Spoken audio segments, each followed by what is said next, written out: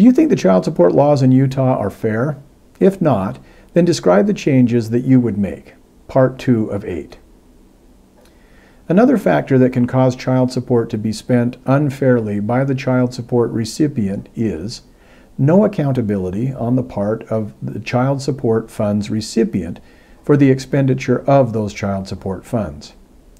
Once the parent who was awarded child support receives those funds, he or she can spend them however he or she wants. If the child support recipient, also known as the child support obligee, does not actually spend the child support on the financial needs of the children, he or she gets away with it. In my jurisdiction, that's Utah, while the law provides for the possibility of an order of accountability as to how child support funds are spent, that law is literally never applied. In 26 years of practice, I have never seen it ordered.